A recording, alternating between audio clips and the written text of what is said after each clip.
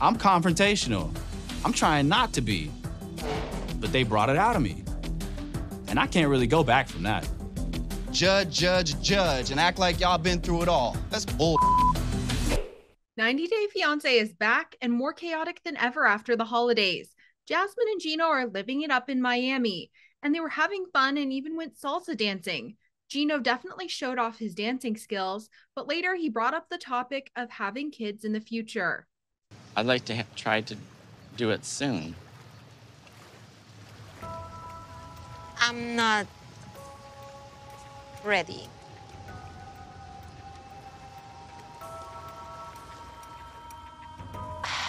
I have some very personal fears when it comes to having children.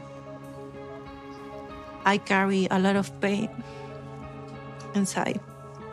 Jasmine opened up about how having a child with a disability has caused her to reconsider having another child. I don't know, you know, it scares me to death. I don't know if I.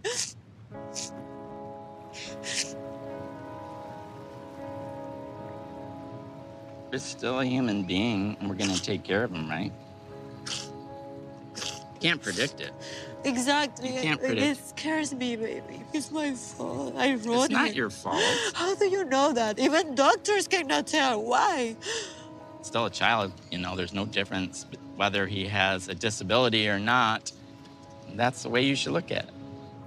Last episode, Sam confessed to Citra about the extent of his legal issues and that he could be potentially facing jail time. And while she's still upset with him, is she going to stay with him? I'm still upset about it, but I was thinking about our situation. You know, uh, I've been waiting for two years to get my visa approved, and our love is really strong. And I mean, I'm gonna be with you. It's like a 2,000 pound weight off my shoulders hearing that she's still gonna stand by me. Later, they met up with Sam's mom, who isn't a fan of him converting his religion for their marriage. I don't believe anybody should have to change their ways or beliefs just to marry somebody. You should love them no matter what, you know? I mean, there's some things you shouldn't maybe marry to, like, I'm gonna be blunt about this witchcraft. But, you know, again, if I could have it my way, I'm not gonna stand here and lie. I would love to see her and her family serving the same God as I do. Absolutely. Manuel met up with one of his longtime friends to talk about how things are going with Ashley, and he admitted that he's a bit homesick. Porque a veces ya me siento acabado ya. Es que ella nunca ha sufrido necesidades, es el problema. A Paso frustrado a veces, me siento mal. Extraño mucho Ecuador, extraño mucho mi gente, mis amigos, mi familia. Extraño todo de allá, la comida. Y aquí estoy, poniendo los pechos, poniendo el, pecho a las balas. Later, the topic of how much money Ashley is sending Manuel's family came up, and he's upset that she's not sending more money, and she's upset that he's asking her to send more. Me preocupo por los demás, tú te preocupas por ti, en cambio. I take a lot of offense to that, and I might cry. Lo siento así. Como te dije ayer, me gusta peleando ahorita con ella porque yo sé que en el futuro no va a haber problemas. ¿Sí me entiendes? Con eso me toca lidiar todos los días. I can't.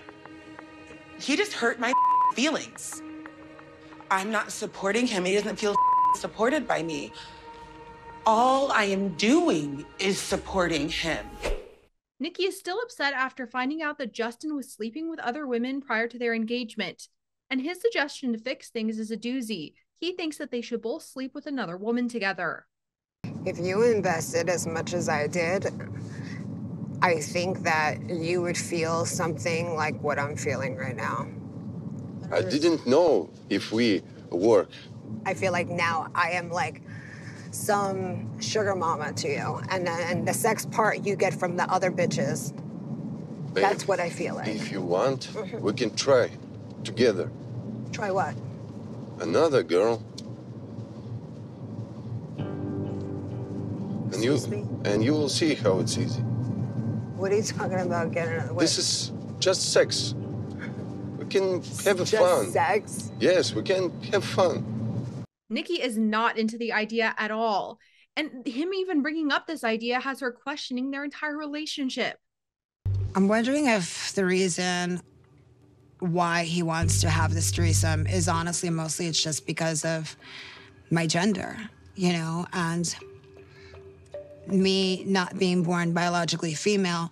I feel like I'm not enough. I feel like why are we even together? Like, why don't you just go be with another woman? Last episode, Anali got upset at Clayton when he brought up their intimacy issues while out at dinner, and now he's apologizing. I'm sorry, honey. ¿Quieres tocino?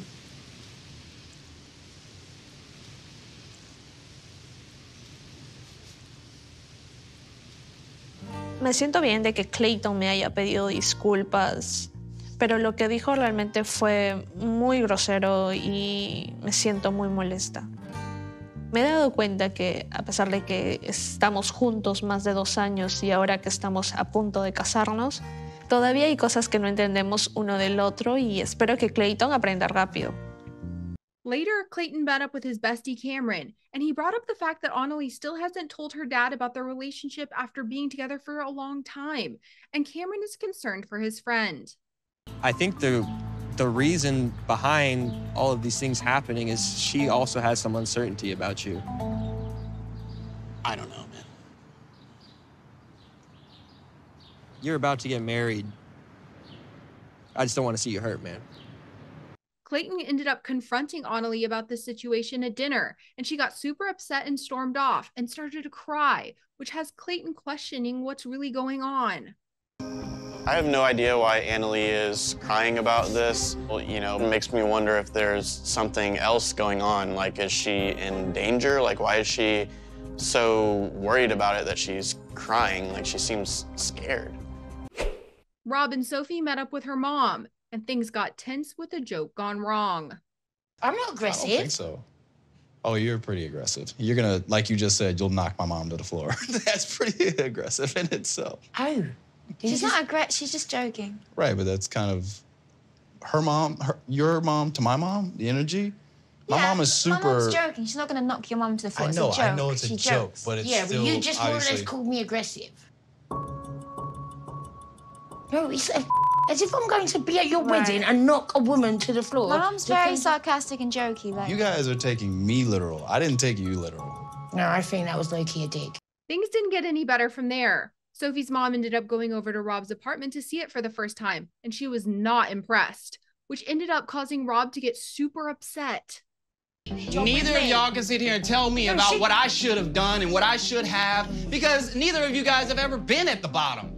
If you've never lived on your own and had to do it on your own, then then shut up trying to tell somebody else what they should be doing.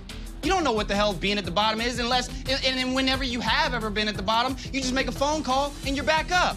That's easy enough for you guys, but I don't have that. It makes me feel like fully